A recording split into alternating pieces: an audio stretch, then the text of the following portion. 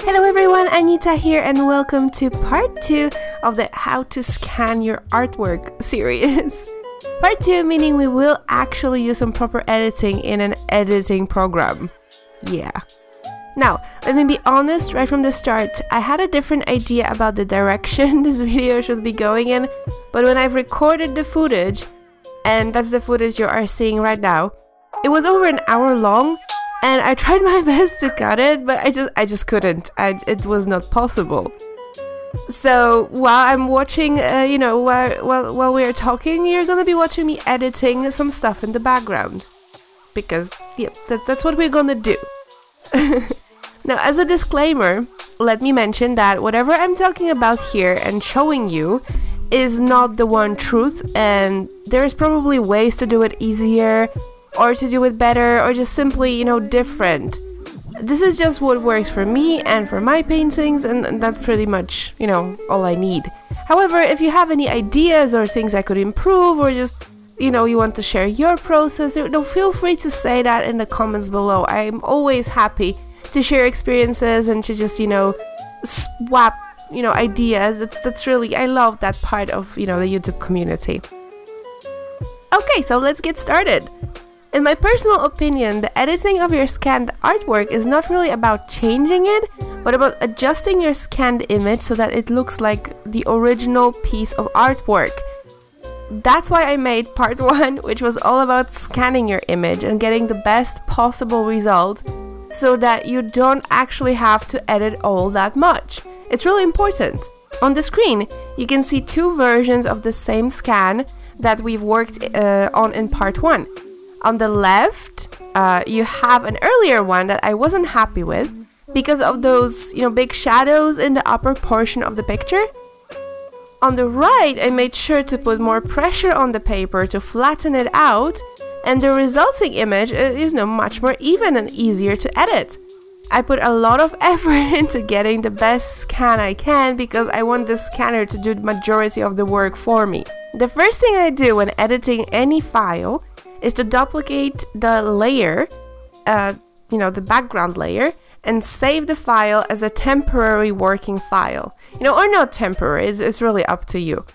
No, save it often. There's nothing worse than losing all your work when your editing software, you know, stops working or there is a power outage, which was actually true in, you know, both cases for me. So it's really important to save often. I work with an older version of Photoshop, but I imagine that any really editing software with similar options will work just fine. I just happen to have it, this one it's just a matter of learning, you know, how to take advantage of, you know, whatever that program has to offer. I'm also assuming that you have the basic knowledge of either Photoshop or whatever product program you're using. Uh, and if you have any problems or you don't know how something works, use Google or YouTube. There's literally thousands of videos and articles that show you how to do basic, you know, Photoshop stuff. That's how I learned everything pretty much. So, yeah, it really works. After saving my file, I changed the color profile to CMYK. Uh, in the convert to profile window in the edit menu thing. the CMYK is the color profile that printers use, the big printers, and it has much smaller range of color than RGB, which is the color profile used by you know digital displays. If you edit your file in RGB, chances are that your colors, especially blues and greens, always in my case, you know, the colors will be washed out and you will have to adjust them again, which is a waste of time. If you start with CMYK, you can convert it later to RGB for internet use and it will look exactly the same. But you will already have the CMYK, which is, you know, for, for bigger printer, printers, if you want to use that image for printing. Now, which CMYK profile to choose is still, you know, a bit of a mystery for me. So I'm not going to go into detail um, that much, and I encourage you guys to do your own research, you know, or share some thoughts in the comments because that's really one part of the whole editing process that I'm still not exactly sure about. There are a lot of profiles in Photoshop, so I just tend to Google the CMYK ISO standard for whatever country the file is supposed to go to. You know, if I if I do it for for a client, and that just that just works. It works so far.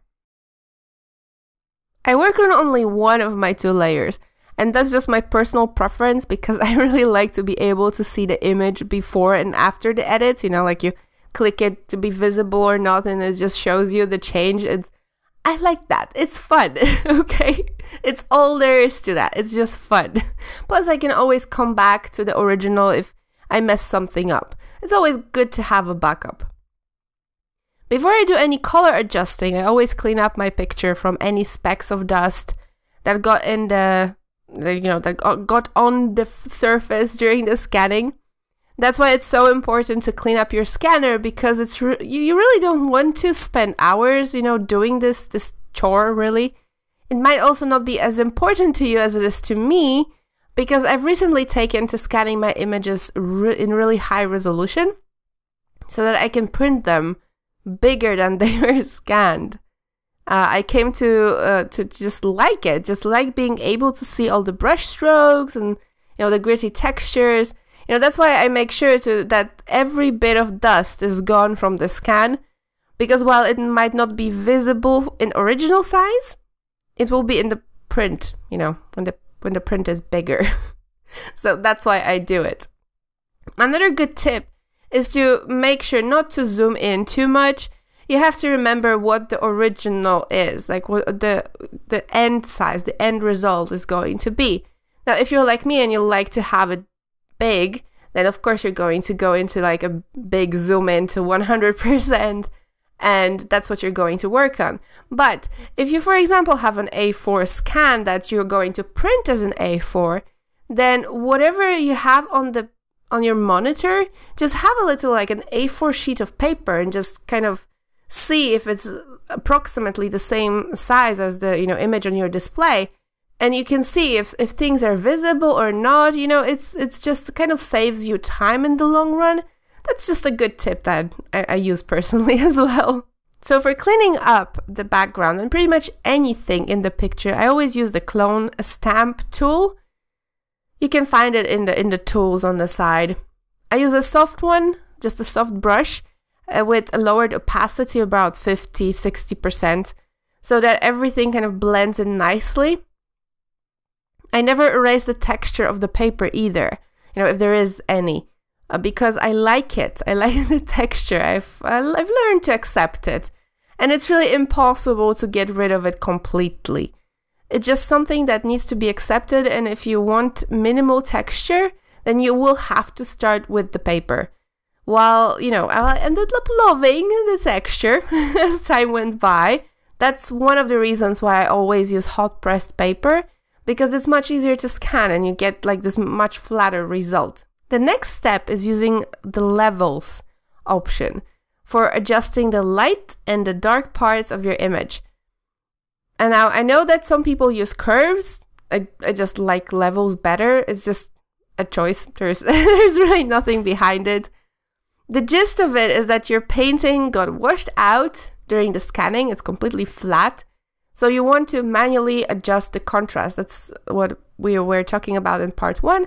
That we didn't want the scanner to do it because it doesn't have that subtlety, especially if it's a cheap scanner like mine. So that's when you're actually going to be bringing back the contrast. You want to move the little arrows that you have in the levels window. You want to move them around until you have brought up a little bit of definition back to your painting. A good starting point is indicated by the curvy shape, you know, the uh, one above the arrows. And you have to remember that a little bit goes a long way. It's really easy to overdo it, so it's always a good idea to have the original in front of you for comparison. It's also a very good idea to, whenever you're adjusting something, you have to remember that the printed picture will look different than whatever you see on the monitor.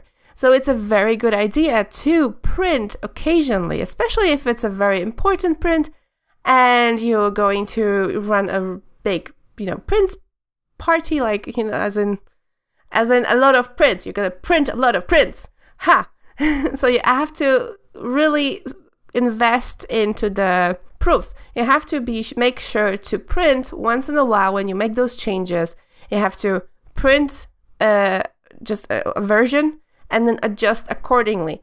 Because sometimes on the monitor you're gonna see certain things to be dark, but they're gonna look washed out uh, in your printed picture. Just bear that in mind because that's something I learned the hard way in the very beginning of the very first prints that I've ever made. And I've ordered a lot of prints without proofing them, and they were just unusable. So, yes, proof your image. oh, and you can also untick the little preview box, you know, to compare the before and after so that you don't have to commit to it and go, go back and, you know, redo it. Um, it's really handy. if your colors are washed out or changed, and changed slightly, they should be changed only slightly if you did the scanning, you know, properly. You can use the hue, you know, slash hue slash saturation option.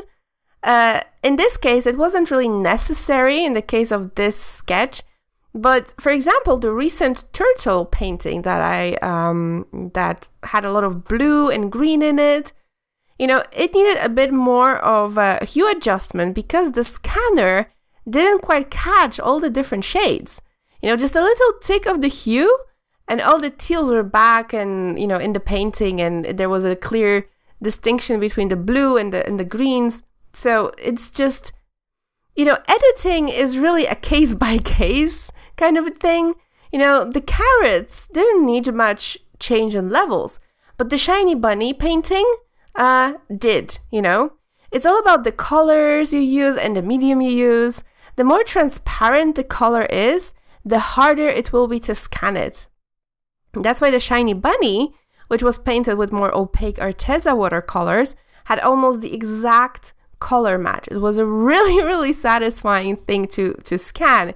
It's a similar thing with gouache. The gouache is just amazing to scan. On the other hand, the Turtle Legends, um, the, I use my regular watercolor set for those, which is a really transparent set. I have a lot of transparent colors. And those delicate tones, you know, that I use, the little um, glazings and stuff, they were much harder to read because the light of the scanner didn't have anything to bounce off of. the last thing I do is to bring the white bits back to being white.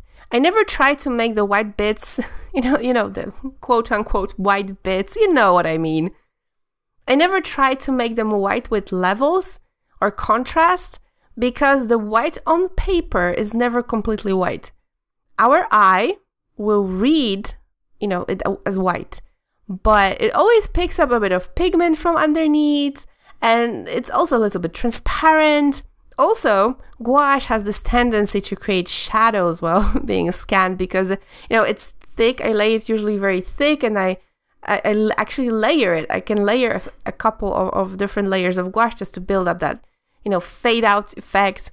Or sometimes I'm really angry with the gouache, so I'm to just slap it on thick and it will it will create a shadow because some areas are raised.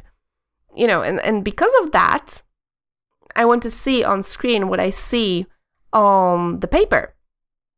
So i take a regular brush and i paint over the white bits to make them you know nice and shiny again and bright. I don't alter the shape because it's very important for me to actually have the scan to be as close to the original as possible I just paint on top of them. You might want to uh, use a new layer for that too, just, just to be on the safe side, you know? and depending on the painting, uh, this can really take a while. The recent painting I did with the bioluminescent beach that had a lot of those little white dots, that thing was just a nightmare to uh, to do because there there was just so many white little dots that I had to paint over. But that's just, you know, that's just one of those things that you have to do. After everything is edited and I'm happy with what I see, I flatten the image and save it in a couple of different ways. I really like to have a CMYK PSD, like a PSD file, uh, for prints. and then uh, so that I can store it. I store them. I store all my all my files in a separate, um, just like one of those. How do you call them again? Like hard drives, like the external hard drives. um, so I I definitely have like a CMYK PSD for that, and then I also save. Uh, I convert it to an RGB um, as a last step and then I save it as a PNG in a big format from which I pretty much work for anything. If I want to make it smaller, I really make it small for internet use, but for example, I make it a little bit more big, higher quality for Etsy uh, because that's, you know, for sale and I want people to be able to see. So that's a really good starting point uh, to have. And that's it. That's really the gist of it. I hope you've enjoyed this video and that you've learned something. And if you have any questions or comments or would you you would like to share like I said in the beginning, would you like if you would like to share your own experiences and tips, please leave all the comments below. You know, and good luck with experimenting. um, bear in mind that this is really just it requires practice. Um, this is just something that you start working out for yourself, and it takes some adjusting, and there is a learning curve seriously, I've always thought about uh, editing photos like as a form of art because it really is. It's just you know a little bit less creative. Well, sometimes it actually can be creative, but that's that's something that's for another video. for now, thank you so so very much for watching and being for, here with me and supporting me. And I will see you guys in the next video. Bye.